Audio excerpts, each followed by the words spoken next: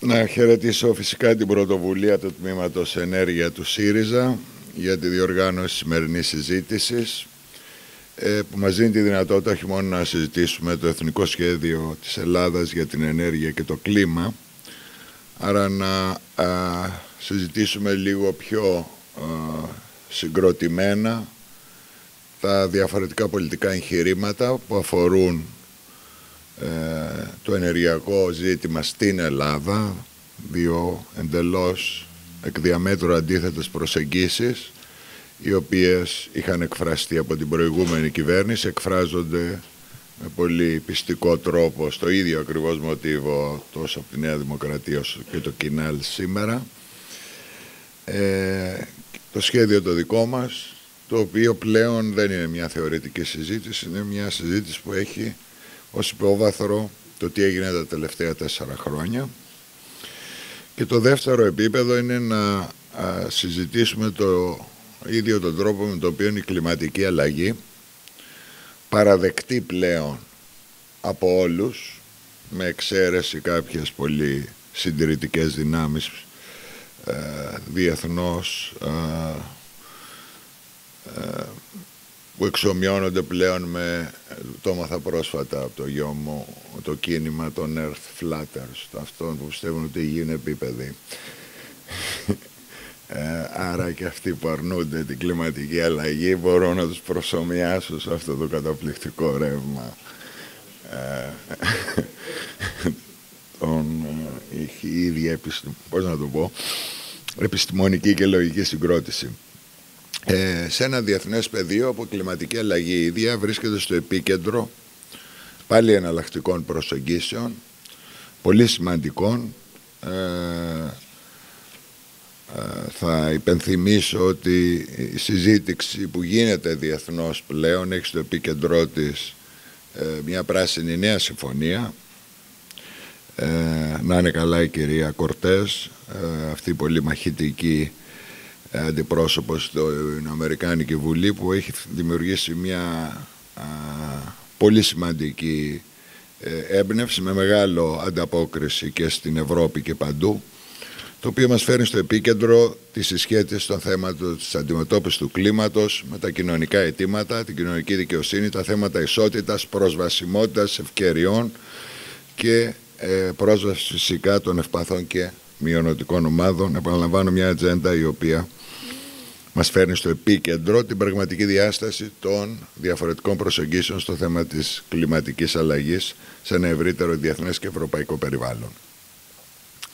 Τώρα, να υπενθυμίσω αυτό που ξεκίνησε να λέει ο Πάνος, τι παραλάβαμε. Και έχει σημασία διότι ε, εγώ απέφευγα μέχρι τώρα να ε, αναφέρομαι στην καταπληκτική περίοδο 2009-2014 μέχρι που πρόσφατα έπρεπε να απαντήσω στην ε, Νέα Δημοκρατία για το περίφημα θέμα, θέμα της ΔΕΗ.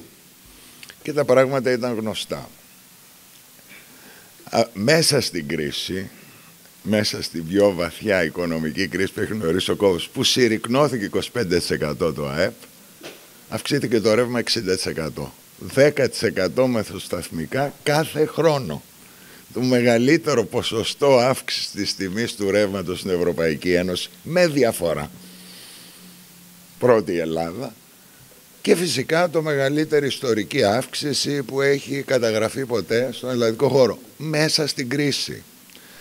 Το αναζήτησα ακόμα πιο επισταμένα, το ήξερα και είδα ότι ο δανεισμός της ΔΕΗ λίγο πριν, τότε που άρχισε να παίρνει τα 3,5 δις και τα 4, έγινε με τον όρο μέσα στο δάνειο ότι θα αυξηθεί 35% η τιμή του ρεύματος. Με διαψεύδεται αν η ιστορική μου ανάλυση ήταν. Άρα τι έχουμε, έχουμε ένα σχέδιο το οποίο έλεγε για να δανειστεί η ΔΕΗ να κάνει τις επενδύσεις που δυστυχώς ήταν μονοσήμαντες. Υπενθυμίζω την ίδια περίοδο έχουμε έκρηξη ΣΑΠΕ και η ΔΕΗ προσανατολίζεται αλλού για να κάνει αυτές τις επενδύσεις που θέλουν ή για να κλείσουν τρύπες ή δεν έχει σημασία γιατί.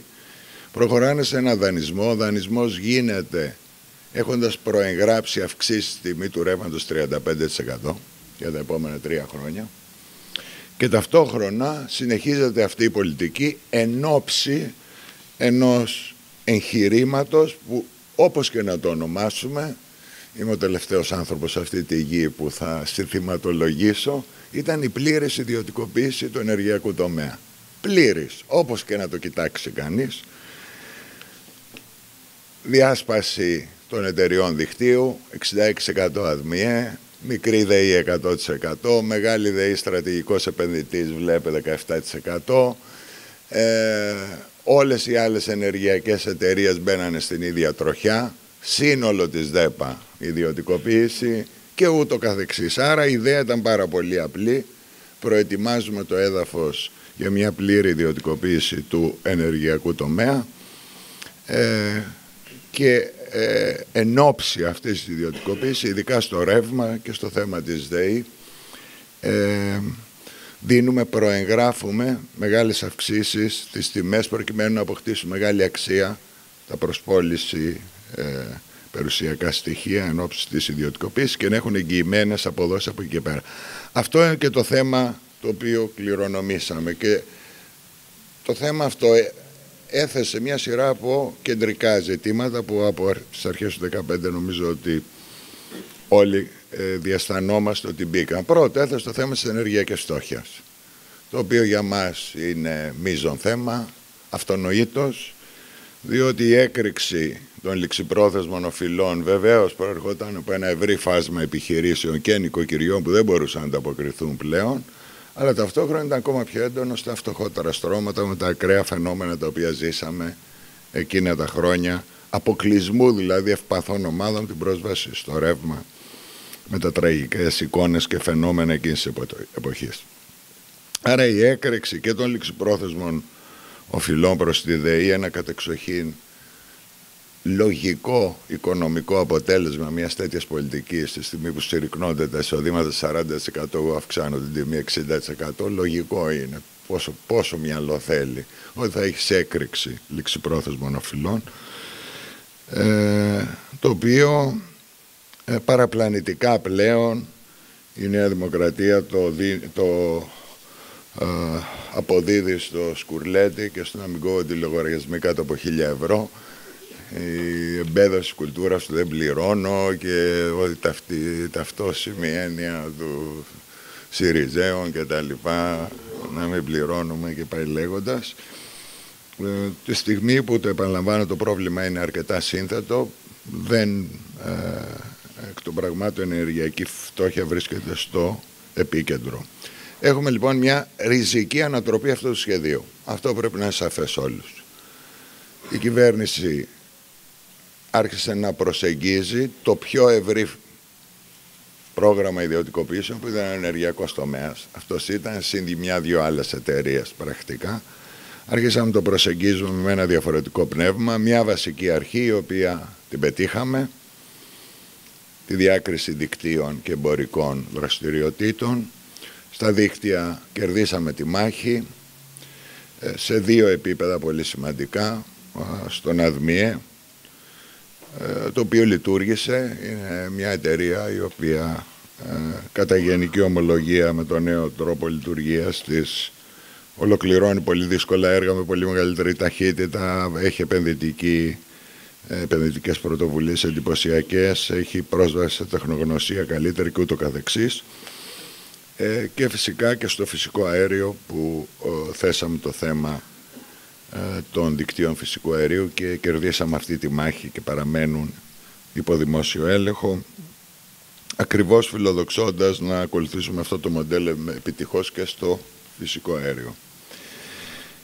Το δεύτερο πεδίο της ε, μάχης ήταν φυσικά η ΔΕΗ ε, αναγνωρίζουμε όλες τις δυσκολίες. Εμείς επιλέξαμε μια πολιτική μια αύξηση των τιμολογίων έχοντας εγγράψει αυτή την πραγματικότητα των προηγούμενων χρόνων αυτό εκ των πραγμάτων σήμαινε ότι η ΔΕΗ καλεί το να διαχειριστεί μια τετραετία με δύσκολους τρόπους να ελέγξει τις δαπάνες της, οι εργαζόμενοι να μην έχουμε ε, αυξήσεις ή οτιδήποτε άλλο, να υπάρχει μια ευρύτερη προσπάθεια εξορθολογισμού και ικανότητα εν μέσω μεγαλύτερων αλλαγών που γινόταν στο ενεργειακό τομέα να προχωρήσει, να μπορέσει η ΔΕΗ ε, και πέτυχε πέρα από όλα τα άλλα, πέτυχε και απομείωση των δανείων με πολύ σημαντικό 200 εκατομμύρια ετησίως του περίφημο 5 δις που βρήκε φεσωμένο και επιτυχώς, επιτυχής τρεις διαδοχικές ε, χρονιές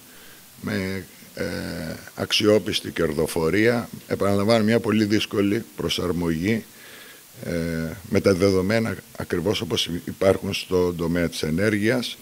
Επιλέξαμε ένα μοντέλο διαφορετικό ε, στο μοντέλο της μικρής ΔΕΗ και της απομείωσης του στρατηγικού επενδύτη του 17%. Κρατήσαμε το 17% όπως ξέρετε και ε, διαμορφώσαμε ένα πλαίσιο μέσα στο οποίο θα μπορούσαμε να δούμε την προσαρμογή της ΔΕΗ μόνο στα εντελώς απαραίτητα όπως αυτά επέβαλαν οι ευρωπαϊκοί κανόνες ή οι ευρωπαϊκές αποφάσεις των δικαστηρίων. Άρα από επένδυση μόνο στο σκέλος των α, λιγνητών. Σε κάθε περίπτωση ε, νομίζω ότι ε, υπάρχει ένας κοινός τόπος στο ότι η ΔΕΗ θα παραμείνει βασικός πυλώνας του ενεργειακού μας συστήματος. Υπάρχει κοινός τόπος ότι η στρατηγική της έχει πλέον ευδιάκριτα χαρακτηριστικά, νέες υπηρεσίες, συμπληρωματικές, ε, οι πιο σύνθετε, επέκταση στα Βαλκάνια, επέκταση με τη ΣΑΠΕ, ε, στοχευμένες επενδύσεις ε, στο εμπόριο ηλεκτρικής ενέργειας και άλλων υπηρεσιών, δραστηριοποίηση σε νέα προϊόντα, νέες τεχνολογίες, έξυπνοι μετρητές και πληθώρα άλλο που δεν θέλω να σταθώ. Η ιδέα πάντως παραμένει ότι έχουμε μια ΔΕΗ η οποία αναδιαρθρώνεται και θα συνεχίσει να αναδιαρθρώνεται και φυσικά διαχείριση των ληξιπρόθεσμων οφειλών υπό την ευνοϊκή συγκυρία της σημερινής κατάστασης της οικονομίας που μπορεί να δώσει μια νέα όθηση στη ΔΕΗ. Ε,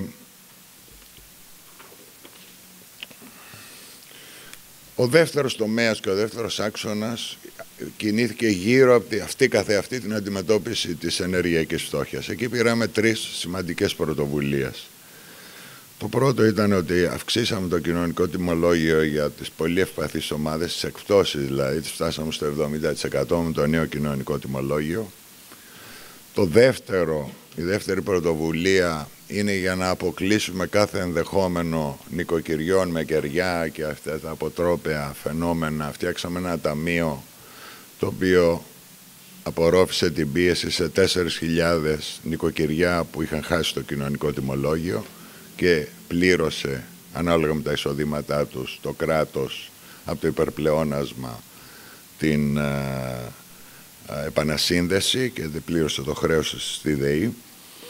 Και το τρίτο και βασικό είναι ότι ανοίξαμε ένα νέο θεσμό, τις ενεργειακές κοινότητες, οι οποίες δίνουν τη δυνατότητα όχι μόνο ε, στο κράτος αλλά και στους Δήμους και σε άλλους θεσμούς να μπορέσουν να ε, συμψηφίζουν και να ασκούν πολιτική προστασία στον ευάλωτο νοικοκυριό τους συγκροτώντας ενεργειακές κοινότητες και συμψηφίζοντας ουσιαστικά την κατανάλωση αυτών των α, ε, νοικοκυριών με την ενέργεια που θα παράγει ο Δήμος μέσα από μια ενεργειακή κοινότητα με κάποιες άλλες συνεργασίες, όποιες και αυτές να είναι. Το εγχείρημα των ενεργειακών κινητήτων είναι φυσικά ευρύτερο. Ε, πρόκειται για ένα παραγωγικό μοντέλο ε, που στοχεύει στην εμπλοκή της τοπικής κοινωνίας στην παραγωγή ενέργειας, στην εξοικονόμηση ενέργειας σε δεκάδες άλλες δραστηριότητες ε, και ε, ανοίγει ουσιαστικά το δρόμο σε εγχειρήματα τα οποία θα έχουν μεγαλύτερη συμμετοχή. Ένα τρίτο υποκείμενο πέρα από τις ε, μεγάλες ιδιωτικές επενδύσεις στα αιωλικά ή τις μικρομεσαίες, στα φωτοβολταϊκά τις ε, ιδιωτικές, ένα νέο κοινωνικό υποκείμενο το οποίο μπορεί να εμπλακεί αποφασιστικά στην... Ε, ο θεσμός έχει σημαντική ανταπόκριση, έχουμε φτάσει περίπου τις 50 στη λίστα που έχουμε στο Υπουργείο και είμαστε έτοιμοι να προκηρύξουμε το πρώτο πρόγραμμα 25 εκατομμυρίων για την ενίσχυση των ενεργειακών κοινοτήτων. Συγκεκριμένα όρημα πλέον προγράμματα που ξεκινούν, θα ακολουθήσουν φαντάζομαι και άλλες. Τώρα, οι βασικές αλλαγές αφορούν τον ίδιο τον ενεργειακό τομέα και τον τρόπο λειτουργίας της. Όπως ξέρετε, έχουν απελευθερωθεί αγορές ε, ενέργειας και φυσικού αερίου. Ε, διαμορφώνεται το πλαίσιο της ανταγωνιστικών διαδικασιών για τη ΣΑΠΕ. Οι τελευταίες εγγυημένες τιμές δόθηκαν το Μάρτιο του 2017. ε, περίπου 100 ευρώ τότε ήταν η τιμή.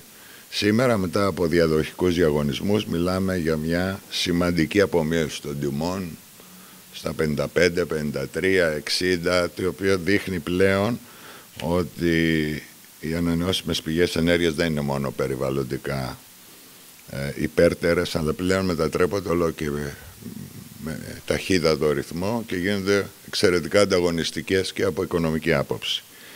Η πτώση των τιμών είναι εντυπωσιακή.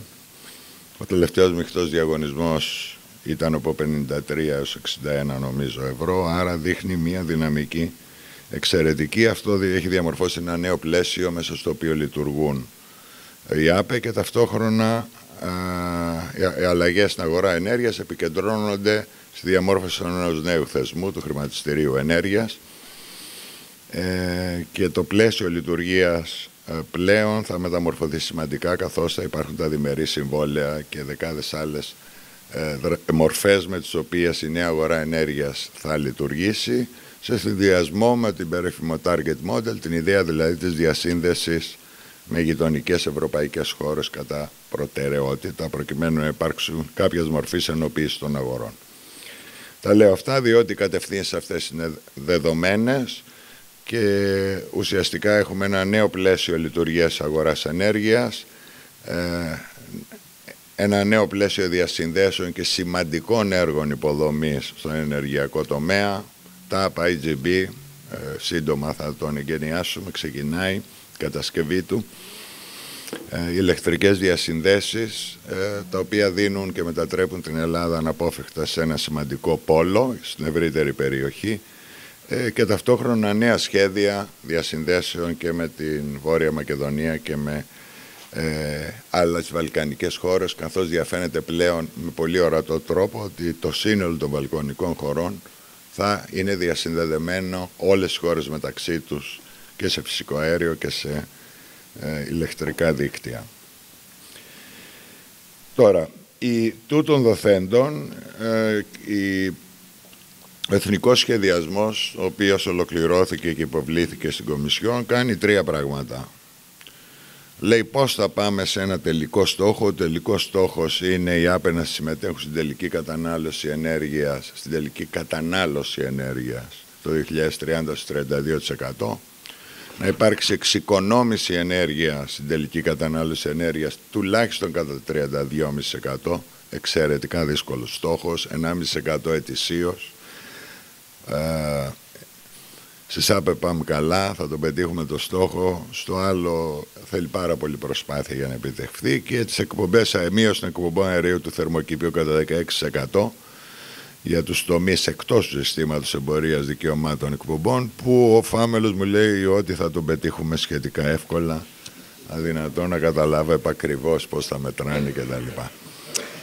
Ε, τι κάνει ουσιαστικά η, το, το εθνικό σχέδιο; Ουσιαστικά το πρώτο προσδιορίζει το ενεργειακό μείγμα με μία πολύ απλή λογική διατήρηση του λιγνίτη και απόσυρση των μονάδων χωρίς αντικατάσταση, άρα σταδιακή ε, ε, απόσυρση του λιγνητών καθώς λήγουν οι μονάδες και δεν αντικαθίσταται. Αυτές οι ποσότητες αντικαθίσταται κατά κύριο λόγο από ΑΠΕ και μένει σχετικά σταθερό το φυσικό αέριο. Αυτή είναι η, ε, αυτή είναι η γενική ιδέα του ε, ενεργειακού μείγματος.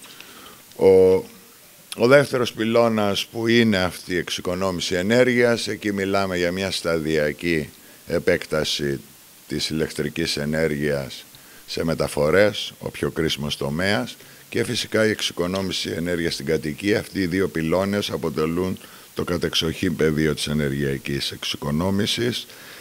Μιλάμε πρακτικά ότι μετά το 25 θα μιλάμε για ένα στα δύο αυτοκίνητα είναι ηλεκτρικό και ένα εξοικονομώ κατοίκων 50.000 κάθε χρόνο μέχρι το 2030. Το λέω παραδειγματικά για να δείξω την ένταση με την οποία θα κινηθούμε προς αυτή την κατεύθυνση ε, και φυσικά εμείς έχουμε σωματώσει πλήρως την ενεργειακή φτώχεια ως βασικό εθνικό στόχο ε, και ουσιαστικά δίνουμε ε, ιδιαίτερη έμφαση στις πολιτικές που υπάρχουν ήδη και φυσικά επιπρόσθετα μέτρα που μπορούν να ληφθούν στο μέλλον προκειμένου να διασφαλίζεται η πρόσβαση όλων των πολιτών, ειδικά των ασυνδερέσεων κοινωνικών ομάδων στην ενέργεια. Άρα η ενεργειακή φτώχεια αποτελεί αναπόσπαστο κομμάτι ε, αυτής της στρατηγικής μας. Ε, θα κλείσω λέγοντας ότι ε, το Εθνικό Σχέδιο για την Ενέργεια και το Κλίμα δεν είναι ένα απλό τεχνοκρατικό πόνημα. Στο επίκεντρό του βρίσκεται η στρατηγική που υπονόησα στην αρχή. Η ιδέα δηλαδή ότι ο ενεργειακός τομέας αποτελεί κατεξοχήν ένα προνομιακό πεδίο άσκησης ε, πολιτικής η οποία στηρίζεται σε ισχυρές κοινωνικές αξίες και κοινωνικές αρχές. Αυτό μας βάζει στον αντίποδα μιας στρατηγικής για ανάλογο μετασχηματισμό που είναι επικεντρωμένη αποκλειστικά στην απελευθέρωση της αγοράς και στην κινητοποίηση ε, ιδιωτικών επενδύσεων κατά κανόνα μεγάλων. Αυτή η αντίθεση είναι υπαρκτή και στην Ευρωπαϊκή Ένωση, στις περισσότερες χώρες, όποιος κοιτάξει τα προγράμματα τα εθνικά, διαφαίνεται ότι υπάρχουν δύο διακριτές στρατηγικές με τις οποίες θα φτάσουμε στους ίδιους στόχους. Η θέση της Ελλάδας είναι σαφής, ε, θα φτάσουμε στους στόχους και θα φτάσουμε με έναν τρόπο συντεταγμένο το οποίο θα έχει ισχυρές μέρημνες για τη συμμετοχή σε αυτή τη μετάβαση όσο το δυνατό μεγαλύτερο μέρος της κοινωνίας και των τοπικών κοινωνιών, κοινωνιών και με ιδιαίτερη μέρημνα για την ε, λειτουργία του ενέργειας ως κατεξοχήν ε, αγαθός στο οποίο πρέπει να έχουν πρόσβαση όλοι. Ευχαριστώ.